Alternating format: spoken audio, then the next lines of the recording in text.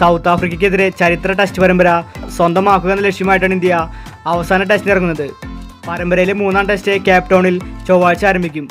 മൂന്ന് മത്സര പരമ്പരയിൽ ഒന്നൊന്നിന് സമനിലയാണ് ഇപ്പോൾ രണ്ട് ടീമും മൂന്നാം ടെസ്റ്റിന് ഇറങ്ങുമ്പോൾ ഇന്ത്യയ്ക്ക് ഇപ്പോൾ വലിയ പണിയാണ് കിട്ടിയിരിക്കുന്നത്.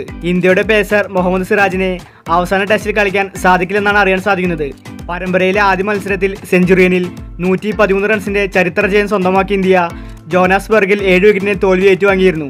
പരിക്കേറ്റ മുഹമ്മദ് സിറാജ് ജോനാസ്ബർഗിൽ മോശം പ്രകടനമായിരുന്നു കാഴ്ചവെച്ചത്. ടെസ്റ്റിന്റെ ആദ്യ ദിനം തന്നെ പരിക്കേറ്റ സിറാജ് മൈതാനം വിട്ടിരുന്നു. രണ്ടാം ദിനം ബൗളിങ്ങിനായി തിരിച്ചെത്തിയെങ്കിലും സിറാജിന്റെ പേസിൽ കുറവ് സംഭവിച്ചിരുന്നു. ശരാശരി നൂറ്റി മുപ്പത് കിലോമീറ്റർ വേഗത്തിൽ മാത്രമായിരുന്നു പിന്നീട് മത്സരത്തിൽ സിറാജിനെ പന്തറിയാൻ സാധിച്ചത്. എന്തായാലും മൂന്നാമത്തെ ടെസ്റ്റിൽ സിറാജ് ഉണ്ടാവില്ലെന്നാണ് കേൾക്കുന്നത്. അതുകൊണ്ട് തന്നെ അവസാന ടെസ്റ്റിൽ സിറാജിന് പകരം രണ്ട് താരങ്ങളെയാണ് ഇപ്പോൾ പരിഗണിച്ചിരിക്കുന്നത്. ഇതിലൊന്ന് ഇശാന്ത് ശർമ്മയും രണ്ടാമത്തേത് ഉമേഷ് യാദവുമാണ്. ഉയരക്കാരനായ പേസറിനെയാണ് ഇന്ത്യയ്ക്ക് ആവശ്യമെങ്കിൽ ഇശാന്ത് ശർമ്മ പ്ലേയിങ്ങിൽ ഉൾപ്പെടും. ജോഹനാസ്ബർഗിൽ ഉയരക്കാരനായ പേസറിന്റെ അഭാവം ഇന്ത്യക്കുണ്ടായിരുന്നതായി മുൻ selector M S K Prasad നിരീക്ഷിച്ചിരുന്നു.